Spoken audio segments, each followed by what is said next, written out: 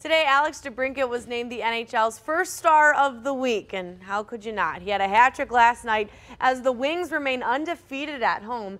He leads the entire NHL in points, and he's in pretty good company. Just behind him is captain and line mate Dylan Larkin. Together, they combined for 23 points. That's through six games. It is early on, but that connection is pretty good. Dylan Larkin knows it. His hockey sense is is, is off the charts, and, and everyone knows he can score. But um, how he finds space and how he finds pockets, it honestly took a little bit to get used to. I haven't played with a, a player who, who is looking in, in spots that uh, not many can, can find, and, and uh, it's been really nice so far. Not the most sustainable pace, but we will take it as long as it lasts. That's right. DeBrincat and Larkin. That's the positivity Detroit needs tonight. Yes, exactly. And the Lions will figure it out in one week. All right. Thanks, Gina.